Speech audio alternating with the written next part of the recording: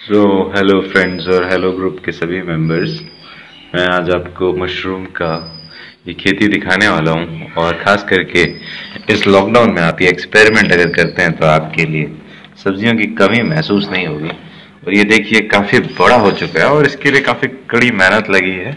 ये 25 से 26 दिन का प्रोडक्ट है और इसके बाद ये लगातार इन बर्ड्स से, इन छोटे छोटे जो बर्ड्स आप देख रहे हैं बीच में, इनसे दोबारा पनपेगा और एक बैग से, जहाँ पे 250 ग्राम का स्पॉन यूज़ हुआ है, वहाँ से आपको तीन के का प्रोडक्ट मिलता रहेगा। और इक्कीस दिन के बाद इतने बड़े बड़े प्रोडक्ट आएँगे और उसे हम ट्विस्ट करके पहला हार्वेस्ट पहले ब्रेकफास्ट के लिए बनाएँगे।